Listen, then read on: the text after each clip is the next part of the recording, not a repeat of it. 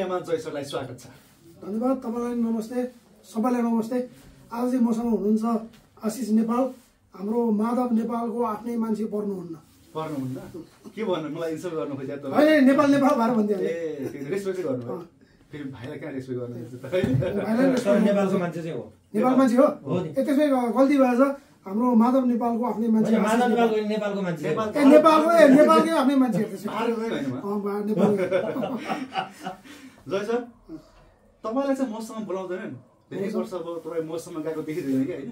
पहिला पहिला चाहिँ एकदम बिजी भइन्थ्यो मौसममा। खै आजकल यो मौसमका ठेकेदारहरूले किन मलाई नसम्झेको थाहा छैन? अझ यो वर्ष मलाई साँच्चै नै मलाई कसैले पनि पढाएन। त्यही त बोलाएन कि एउटा पनि प्रोग्राममा देखेन म यो के भन्छ यो लकडाउन पछि मलाई कसैले पनि पढाएन किन लकडाउनभन्दा अगाडि म वर्षमा केही नभए नि त दुई सय चार सयवटामा पुगिदिन्थ्यो। पुग्नुहुन्थ्यो। एकै दिनमा दुइटासम्म भ्याउँछ किन अहिले तपाईँको बजेट बढायो कि त्यही भएर पनि नबोलाउनु सक्छ होइन होइन अहिले आजकल त्यो पहिलाको यो लकडाउन पछि के हो भने पहिला पहिला जुन जुन यो ठेकेदारहरू हुन्छ नि आयोजकहरू।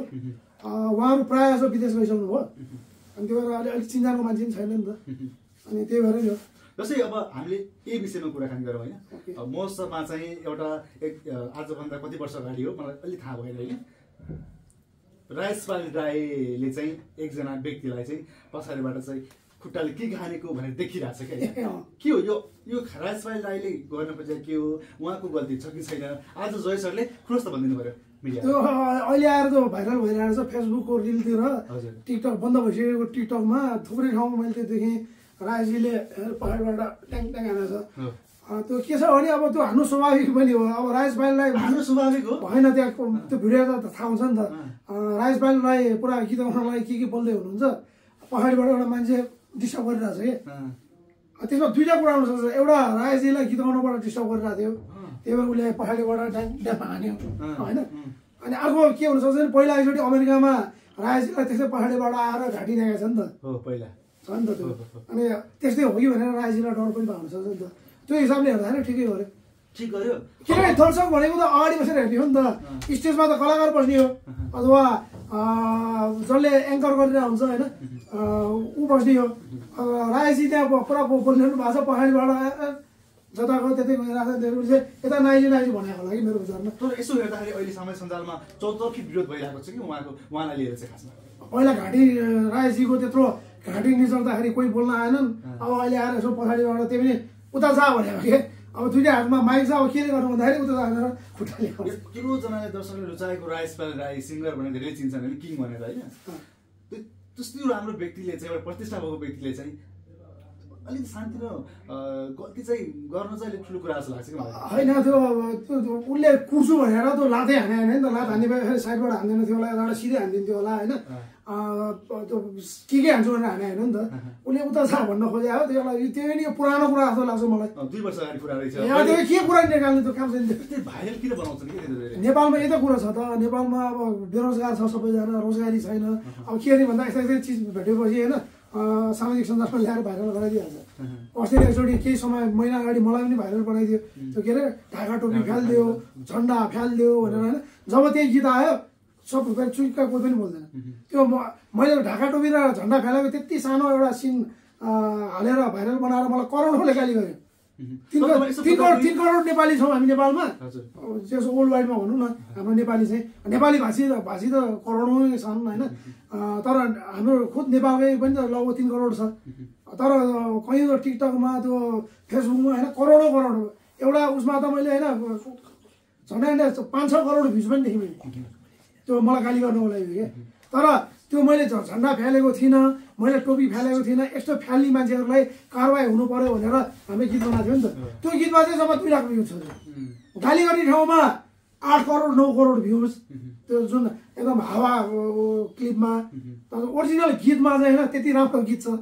यो दुई लाखले हेरे हो। नेपाल भनेको यस्तो भइसक्यो क्या। तर यसो हेर्दाखेरि चाहिँ तपाईँले हुन्छ नि राजेश पायल राईलाई चाहिँ कस्तो नजरले हेर्नुहुन्छ? राजेश पायल राई कस्ता व्यक्ति हुन्? नम्बर वान गायक नेपालको होइन? अँ, राजेश हमाल दाईलाई महानायक भनिन्छ भने होइन महागायक भनेर चाहिँ म राजेश पाल राईलाई मान्छु नेपाली फिल्मको। किन उहाँको भोइस जसलाई पनि सुट हुने कि? मेरो त है। फर्स्ट फिल्ममै उहाँले गाउनु भएको राजेश पाल राईजीले फिल्म जीवन के भन्नु मेरो त हो होइन? मन कर्णवीरको के अरे? आफै सुन न। केही तिमी बोल न भन्ने जस्तो बम्पर हिट भएको थियो त्यो होइन? थुप्रै गीत गाउनु भएको छ मेरो लागि पनि उहाँले होइन? अनि उहाँको गीत हँ? ल किन नभेट्नु? त्यही बेला भेटाएँ नि मैले? अहिले चाहिँ? अहिले चाहिँ भेट्न भयो धेरै भइसक्यो। धेरै भयो। धेरै भयो। शाह जेल पर्दाखेरिको बेलामा भेट भएको थियो कि जस्तो लाग्छ होइन। त्यति सम्झाएको थियो छैन धेरै भयो भेट्नु तर एकदम मेरो आत्मीय होइन। दाइ मान्छु म उहाँलाई होइन। टाइम टाइममा चाहिँ उहाँ किन यसरी भाइरल भइराख्नुहुन्छ उहाँ भाइरल कि के हो? होइन त्यो अरूले गराइदियो क्या। कोहीले आएर घाँटी निचाउँछन् पछाडिबाट आएर। कोही आएर बोलिला ठाउँमा आएर पछाडि डिस्टर्ब गर्न आउँछन्। अहिले जस्तै हामी इन्टरभ्यू गरिरहेछौँ होइन। अब म आशिषसँग बोलिरहेको छु पछाडिबाट ऊ आएर यहाँ गरेर कराउन आयो भने मलाई उत्साह त भनिहाल्छु नि यहाँ भएको त्यही हो होइन। त्यो पुरानो कुरालाई ल्याएर मैले हेरि पनि होइन कति ठाउँमा राजपाल राई राई एकदम खतम भयो अरे घमण्ड आयो अरे होइन ओहो। दर्शकलाई यो गरेर भनेर कमेन्टहरू पनि देखेँ होइन। सबै फुर्सदिला छन् बेरोजगार छन् अब त्यही हो। रमाइलो छ। जस्तै अब तपाईँले कतिको हुन त आफैले पनि भिडियो राखिराख्नु भएको छ तपाईँले होइन? जुन बमजनले चाहिँ अहिले कारागारमा छन् होइन? रामबहादुर बमजन उनले अहिले मजाले रेस्लिङ गेम हेरिरहेका छन् कि सर? यो यो यो यो सुन्दाखेरि यो न्युज हेर्दाखेरि चाहिँ तपाईँलाई कस्तो लाग्यो? रामबहादुर बमजनले पनि कारागारभित्र रेस्लिङ गेम हेरिरहेछन्। अनि के त जेलमा अब? त्यही कैदीहरूको मुख हेरेर मात्र बस्नुहोस् त। अब त्यहाँ जेलमा अब टिभी राखेर स्वामी हुन्छ। भन्ने छ उहाँ त तपस तपस्वी भन्ने छ होइन? उहाँ त ध्यान बस्नुपर्ने मान्छे होइन? कि टिभी हेरेर हुन्छ। अब जेलमा ध्यान बस्ने ठाउँ छैन होला नि त। अब त्यत्रो त्यहाँ अब कारागारभित्र कति कैदी होलान् कोही प्याकेट मारा होलान् कोही ज्यान मारा होलान् कोही बलात्कारी होलान् कोही के होलान् होइन? त्यहाँ त्यो माहौलै बन्दैन नि। तपस्या त जङ्गल मात्र गर्ने हो नि त। अब कारागारमा बिचरा रामबहादुर बमजनले कसरी तपस्या गर्नुहोस् त अब टिभी त रेसिङ हेर्नेको कुरो अँ, कारागारमा म पनि सकेसम्म बसेँ छब्बिसचोटि परिचय मान्छे हो पहिला होइन। त्यही भएर मलाई थाहा छ होइन? त्यहाँको मनोरञ्जनको साधन भनेको के टिभी? अझ म पढ्ने बेला त टिभी पनि थिएन। त्यो क्यारम बोर्ड स्यारम बोर्ड होइन? त्यही हो। अलिकति अलिकति मान्ने व्यक्तिलाई अलिक ठुलो व्यक्तिलाई चाहिँ त्यो त पाइन्छ। राखिन्छ हो। त्यो त भिन्दै राखेको छ तपाईँलाई पनि भिडियो राखेको हो? अँ हामी त गुन्डागर्दी गरेर पढाएको पहिला हामीलाई त भिन्दै ठाउँ त भिन्दै ठाउँ होइन। दिनमा एकचोटि भिन्दै ठाउँमा लगाएर गोरु चुटाइहाल्थ्यो। गोरु चुटा हान्थ्यो यस्तरी बस्न लाउँथ्यो होइन। हतियार आयो होइन। यहाँबाट लौड घुसाइदिन्थ्यो। अनि निकाल्न नमिल्ने के। अनि त्यसपछि पैँताल माड्याम काड्याम काड्याम काड्याम हान्थ्यो होइन। अझै पनि होला अहिले पनि त्यो के अरे त्यो जाडो महिना आयो अलिअलि दुख्छ। हो। अनि त्यो पैँतालामा हाल्यो नि लौरो। अनि फेरि स्वाट यो खोलिदिन्थ्यो क्या त्यो लौरो छिराको लौरो खोलेपछि होइन हात त्यसो खुस्यो नि। अनि उभि भन्थ्यो होइन उभियो होइन अनि उफ्रिन लाउने यो उफ्रिनुको मतलब चाहिँ के रहेछ भने होइन त्यो रगत टाउकोमा नजाओस् भनेर के? कुट्ने पनि उभि पनि भन्ने। त्यस्तो थियो भने एकचोटि एउटा जेलकै रमाइलो कुरा भनिदिन्छु होइन मन भन्ने फिल्म मेरो फर्स्ट फिल्म। मन भन्ने फिल्म रिलिज थियो होइन? अनि माघमा चलायो मलाई असाध्यै याद छ पहिलो फिल्म भएको होइन? हामीले प्रिमियर सो चाहिँ यो अन्तर्राष्ट्रिय सम्मेलन केन्द्र अहिले यो सांसद भवन छ नि। हजुर। त्यो बेला चाहिँ अन्- अन्तर्राष्ट्रिय सम्मेलन केन्द्र त्यहाँ एक दिनको भाडा नै एक लाख रुपियाँ थियो। त्यो बेलामा बाइस वर्ष अगाडि। एक लाख रुपियाँ भाडा पैँतिस हजार एसीको लिन्थ्यो। एक लाख पैँतिस हजार पहिलो फिल्म नि त अनि म आफैले होइन तिरेर त्यहाँ एउटा सो राखेको थिएँ प्रिमियर सो त म पहिलोचोटि हिरो बने। अनि मेरै त्यो बेलाका साथी सर्कल दुश्मनहरू लगाएर मलाई जेल हाल्थ्यो कि त्यो म बसन्तपुरमा कालीमान श्रेष्ठ हाम्रो त्यो बेला के कोसिन गराएको थिएँ अहिले चाहिँ बुधोकाई गराएको नेपालभरिकै चिफ नेपाल होइन ओल्डकै चिफ नै कालीमान श्रेष्ठ हुनुहुन्छ हाम्रो गुरु होइन। उहाँलाई म पा पाँच दिन गएको थिएँ बसन्तपुर मलाई अकस्मात आठ नौजना आएर ड्याम डुम हान्न थालिहाल्यो कि। अनि मेरो नि मार फाइट भयो। एक्लै म आठ दसजना सक्छु नि त्यो बेला अठार उन्नाइस वर्षको कुरो। मसँग अनि एकछिन पखन अनि त्यसपछि म पछि सबै मिलाएर मलाई लडायो त्यो बसन्तपुरको डबलीमा। पछाडि यसो गरेर काँडाकुडुक हातमा भयो क्या यसो गरेर हतपट्टि लगाइसकेको रहेछ कि। तिनीहरू त पुलिस रहेछ। अनि मलाई जनसेवा चौकीमा लगेर राख्यो। अनि त्यसपछि अनि त्यो बेला फेरि मन भन्ने फिल्मको होला? पहर भन्दैछु। बस तनमा बस यो मनमा सुपर हिट भयो। वारी जमुना पारी जमुना। जमुनाको फेदैमा मनोकामना मेरो फर्स्ट फिल्मको गीत। अनि त्यसमा पहिलाका मेरो गीतहरू त एकदम सुपर हिट थियो नि त। चन्द्रमा चाहिँ राम्री छौ मलाई फिल्म आउनुभन्दा अगाडि चिन्न थालिसकेको थियो कि। अनि जनसेवा पुलिसहरू के भन्छ थाहा छ? अब हिरो आएको त आइज सिङ्गल सिङ्गल फाइट भन्छ होइन। डाङ डुम हान्छ होइन त्यो घुँडाले। कति राम हान्ने क्या हुरुक्कै बनाइदिने क्या उप भएर ढल्यो होइन। साला हिरो होइन। आइज न भिड भन्छ होइन। तिन चारचोटि भनेपछि म नि भिडिदिएँ कि तिमी पुलिस भयो होइन। ल त भने म नि भिडेँ म पनि फेरि के किसिमको ब्ल्याक बेल्ट त्यो बेला होइन। डाङ बुडुङ पऱ्यो होइन त्यो केटालाई त्यो पुलिसलाई मैले लगभग तिस सेकेन्ड टिकन दिइनँ। त्यो हस्पिटलमा पुगेको तर सबै पुलिस आएर ठोकेर फेरि मलाई। ए। ए त पुलिसले हात हाल्ने भनेर फेरि हाल्ने मेरो फर्स्ट फिल्मको अनुभव त्यस्तो के? अनि भने मतलब हामी जेलमा पढ्दाखेरि अब रामबहादुर बमजन अहिले सुधारीको जेलमा पुग्यो होला टिभी सिभी हेर्नु पायो। हाम्रो पालामा चाहिँ खालि गोदाखेनी मात्र हुन्थ्यो। कस्तो लाग्छ तपाईँलाई चाहिँ बमजन चाहिँ शक्तिवाला शक्ति दिने खालको टाइपको देखिन्छ? एकदम? महाशक्तिशाली हो रामबहादुर महाशक्तिशाली? यति सानो उमेरमा अरबपति हुन जो मान्छे सफल हुन्छ त्यो शक्तिशाली। हो त नेपालमा त होइन। जसरी होस् पैसा कमायो नि त। त्यति शक्ति त भगवान्ले दिएर पठाएको छ नि त। त्यो अहिले मैले योभन्दा अगाडिको इन्टरभ्यूमा पनि भनेको थिएँ हाम्रो टिभी हाँसिरहेको छ त्यहाँ। जस्तै तिमी हामी अहिले इन्टरभ्यू किन गरिरहेछौँ? युट्युबमा हामी भिडियो हाल्छौँ। त्यहाँबाट दर्शकहरूले हेऱ्यो भने अलिअलि पैसा आउला डलर आउला भन्ने खालको उद्देश्य त्यही होइन। तिम्रो त्यही हो मेरो पनि त्यही हो यो मोबाइल मोबाइल टिभी यहाँ के हो तिम्रो के? होइन। भिडियो। तिमीले झुटो बोल्यो? अँ। हामीले युट्युबमा भिडियो किन हाल्छौँ इन्टरभ्यू किन दिन्छौँ किन लिन्छौँ युट्युबमा भ्युज जाओस्। त्यो किन पैसाको लागि नै हो। हामी एकदम यत्रो दुःख गरेर हुन्छौँ बिहानदेखि बेलुकासम्म होइन घोग्रो सुनी गरी गरेर हुन्छौँ होइन? कारण के? केही पैसा आउला कि भनेर। हामीलाई यत्रो दुःख छ। अझ छकिसन बसेर डेढ सयवटा फिल्म खेलिसके मान्छे। एक सय बाहन्नवटा फिल्म खेलेँ पचासौँ फिल्म निर्माण गरिसकेँ। निर्देशन गर्छु लेख्छु। कथा पटकथा सम्वादै। नृत्य निर्देशन पनि गरिदिन्छु। फाइट डाइरेक्सन गरेको छु यत्रो फिल्म लाइनमा छब्बिसवटा विधामा काम गरेर मान्छे अहिले युट्युब चलाएर भन्नु परिरहेको छ। पैसाको लागि होइन। होइन अब रामबहादुर बमजन एउटा तपस्या गरेको भरमा करोडौँ भक्त बनाएर अहिले अब खरबपति भयो भनेपछि त्यो जतिको पावर के भयो त? त्यसको मतलब पैसा कमाउनुको लागि भए पनि ध्यानमा चाहिँ बस्नु पर्ने रहेछ भन्ने यहाँबाट थाहा पाइयो होइन जो अब पनि जो पनि होइन? सबै बसेर हुँदैन नि त भाग्यमा पनि चाहिन्छ क्या। त्यही भएर मैले बमजन अलि कडा छ पावर छ भन्ने कारण त्यही हो क्या। जस्तै बमजन जस्तै अब यहाँ काठमाडौँतिर झाँक्रीहरूले अरबपति भइरहेछन् अहिले। माताहरू अरबपति भइरहेछन्। ठग त ठगै अब नेपालै यस्तै रहेछ त। नठगी पैसा हुँदैन नि तिमी हामी यत्रो मिहिनेत गरेर एक दुई तिन चार पाँच छ सात आठ नौ दस एघार बाह्र तेह्र सोह्रवटा क्यामेरा रहेछ। त्यही त। सोह्रवटा क्यामेरा के छ? सोह्रवटा क्यामेरा हामी किन गरिरहेछौँ? एउटा के दुःख गरिरहेको छ एउटा पैसा केही आउला कि होइन दर्शकहरूलेको भ्युज आउला भ्युज आएपछि पैसा आउला भनेर एउटा गरिरहेछौँ। त्यसो युट्युबमा किन हाल्ने त? बरु पोर्न साइडमा हाले भइहाल्यो नि। पैसा कमाउन। लागि त। त्यही त अब त्यही गर्नु पर्ला युट्युबमा किन हाल्नु मोबाइल टिभीलाई म अँ, मोबाइल टिभीको नाम चेन्ज गरेर ब्लु फिल्म टिभी भनेर राखिदियो भन्ने लाग्छ नेपालमा अझ बढी पनि हेर्छन् हाँस्यो नि तिमी किन कुरा रमाइलो छ। होइन मैले भनेको त नेपालमा जस्तो देश उस्तै भेष गरे हो क्या बमजनले? बमजनले भन्दा नि ऊ त बिचरा बच्चा बेलामा जङ्गलमा तपस्या गर्छु भनेर गएको बुद्धको एउटा बाटो समाएर गएको मान्छे? तर त्यहाँ वरिपरिले एउटा समिति बनाइदियो। त्यो त्यो मान्छेहरू चाहिँ बाटो हो क्या ओ यो त लिटिल बुद्ध हो यो हो भनेर उनीहरूले प्रचार गराइदिए। होइन? प्रचार गराएपछि देश विदेश सबकै मान्छेहरू आए। आएपछि के भने अब उसको भक्तहरू बढ्दै गयो भक्तहरू बढेपछि अब त्यहाँ दान दक्षिणा भेटी सब चढाउनु थाले। अब त्यसपछि त्यसरी ऊ अरबपति खरबपति होइन निलपति जेसुकै बनाउन हाम्रो टेन्सन भएको होइन। रामबहादुर बमजनले जे गर्यो ठिक गर्यो। भाइ जेलमा अहिले टिभी हेरेर बसिरहेको छु चाँडै निस्किहाल्छु।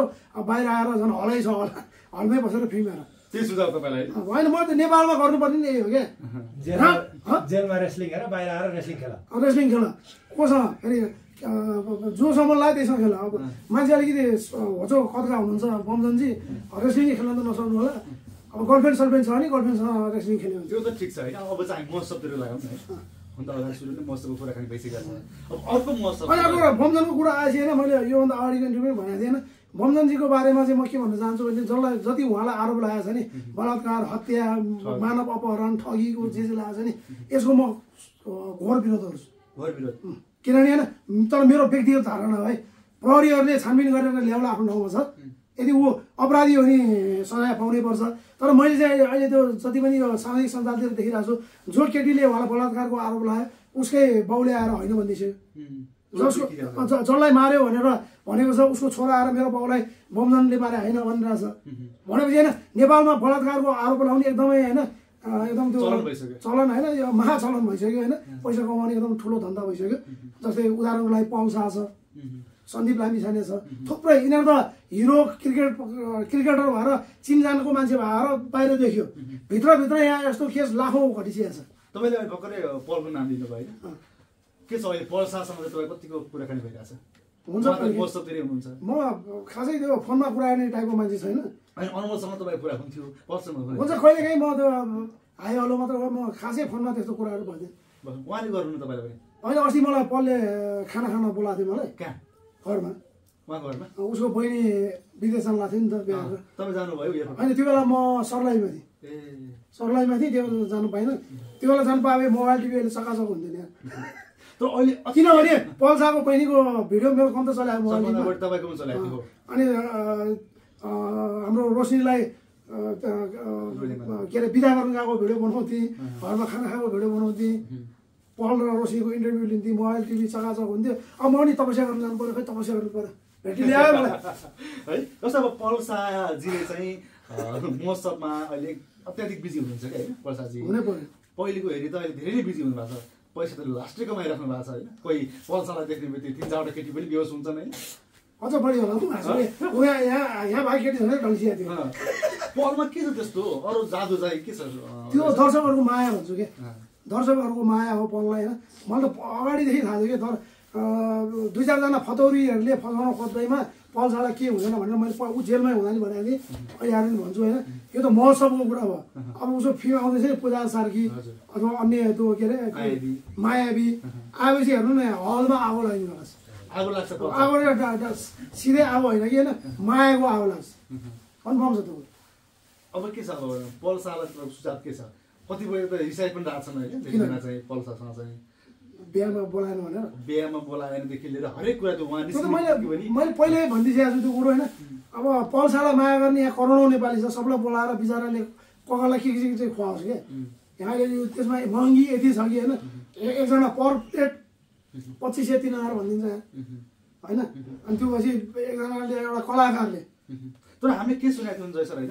अहिले महोत्सवमा जुन पल्साजी गइराख्नु भएको छ होइन? त्यहाँ चाहिँ एउटा महोत्सवमा उहाँ मतलब अभिनय अथवा के गर्नुहुन्छ उहाँले होइन? तिन लाख रुपियाँ लिनुहुन्छ अरे। जम्मा। कम भयो कम भयो पल्साले तिन लाख लिनु कम हो? कम भयो। किन कति लिनु पर्थ्यो म मौसम गर्ने भने चाहिँ सिधै पाँच लाखबाट सुरु गर्थेँ होला। किन? पल्सा र राजेश हमाल दाईलाई चाहिँ होइन पाँच लाख घटी लानु नै त्यो आफैलाई बेच्यो त्यो कुरा। उनीहरूबाट चाहिँ मान्छे आउँछ नि त। त्यत्रो कमाइ हुन्छ उहाँहरू आएपछि। तिन लाख त सैलिसन बस्नेले लिन्थ्यो पहिला के कुरा अरे? हो र। त्योभन्दा बढी म मलाई हेर्नु भनेर होइन जस्तै उदाहरणको लागि घोडागढी महोत्सव भनौँ। त्यहाँ राजदाईहरू पनि जानुभएको थियो। अब सबै होइन अँ, सा स- सलाउन गएको थियो को गएको थियो सबैजना एक एक दिन लाग्यो कि। तर म होइन तिनै दिन मलाई आयोजक लिएर राखेँ कि। मलाई पनि हेर त्यो फेरि म स्टेजमा मेरो अनेकौँ हरकत भइरहेको हुन्छ कि त्यहाँ। किनभने अब पब्लिकलाई एउटा सबले मलाई रुचाउँछ भने र मेरो त्यहाँ फनी पारा धेरै हुन्छ कि स्टेजमा। त्यो कारणले मलाई पहिला बोलाउने हो नि त। जस्तै अर्को एउटा मौसममा त्यो के अरे महेन्द्रनगरतिर हुन्छ त्यो उद्योगहरूको गर्थ्यो कि पन्ध्र बिस दिनसम्म मेरो त्यहाँ मेला लाग्थ्यो होइन। सबै रेखा थापा जान्थ्यो एक दिनको लागि जान्थ्यो राजेश दाई जान्थ्यो एक दिनको लागि जान्थ्यो निखिल उप्रेती विराज भट्ट थुप्रै गएको छ क्या म सत्र दिनसम्म बसेको छु। सत्र दिनसम्म। होइन त्यसमा त कम हुन्छ। त्यो एकाउन्न लाख आयो नि सत्र त्यहाँ एकाउन्न एकाउन्न लाख कमाउनु पो तपाईँ? होइन धेरै गर्दाखेरि अलिक त्यो रेट मिल्छ। तर अहिले चाहिँ के भएर कुनै होइन मौसममा मलाई बोलाउँदैनन् अँ, त्यो चाहिँ म छक्क परिरहेको छु पल्साले तपाईँको सट्टामा पल्साले चाहिँ खाइराख्नु भएको थियो खाओस् न पल्साले खाओस् अनमोल केसीले खाओस् प्रदीप खड्काले खाओस् दयाङले खाओस् म त खुसी छु। तर अहिले उहाँहरू जुन भिडियोहरू खेलिराख्नु भएको छ पल्साले आइरहेको छ फाटा फुट्टा होइन? तर प्रि प्रेस मिटमा चाहिँ प्रिमियरमा चाहिँ गीत रिलिजमा चाहिँ उहाँलाई चाहिँ उहाँ चाहिँ आउन चाहनुहुन्न कि आज देख्नुहुन्न के हो खासमा चाहिँ? उहाँ आउनु नचाहेको हो कि लुक्न खोजे अब। मिडियासँग चाहिँ नजिक हुन? होइन जस्तै हिजो एउटा मेरो साथी गायिका हुनुहुन्छ उषा गजुरेल हजुर। उसको एउटा गीत रिलिज भएको थियो। अनि त्यसमा पल्सा आएन भनेर मलाई त्यो त्यो गीतको फेरि प्रड्युसर मेरो साथी हो कि दिपेन्द्र राई भन्ने। पल्सालाई लानु पऱ्यो भनेर मलाई अरू एक दुईजना साथीहरूले पनि भनेको थियो कि अब पल्सा बिचरा उहाँ उता पश्चिमतिर मौसममा गइरहेछ अब त्यो गीत रिलिजकै लागि भनेर ऊ काठमाडौँ त आउनु सक्दैन नि त। तिमी आफैले भनिहाल्यो एउटा तिन लाख दिन्छ भनेर। अनि अब उहाँ के अरे कैलालीबाट यहाँ काठमाडौँ आएर प्रेस मिट एटेन्ड गरेर जाँदा तिन दिन खेर जान्छ। तिन तिन नौ लाख गएन त्यो त भन्नु मिलेन नि त। त्यही पनि कलाकार भनेको गीतमा बोलाएर गीत म्युजिक भिडियो खेलिदिने हो। फ्री भएको बेलामा पब्लिसिटी पनि गइदिने हो। तर त्यसलाई प यो कुरामा पल्सालाई दोष मिल्दैन किनभने होइन ऊ जहाँ जहाँ मौसममा गएको छ नि उसले त्यही नयाँ गीतहरूमा नाचिदिएर प- पर्फर्म गरिदिएर अझसम्म चर्चित बनाइदिरहेको छ कि त्यो टङ्गबुढा गएको त एक दुई तिन चार त्यो म पहिला भ्यू नै थिएन जब उसले मौसम सुरु गर्यो नि अहिले मिलियन मिलियन भ्यू छ। फाइदा भइरहेछ नि। जस्तै जति पनि पल्साको गीत उसले गरिरहेछ उसले मौसममा गरेर गर्दा त्यहाँ त लाखौँ मान्छे हुन्छ नि त। हो। गीत रिलिज नहुँदै उहाँले पहिले नाचिसक्नु भएको अँ, छ। अनि त्यहाँ अनि त्यो त पल्सालाई झन् धन्यवाद दिनुपर्छ। हस् छ। धन्यवाद। नमस्ते।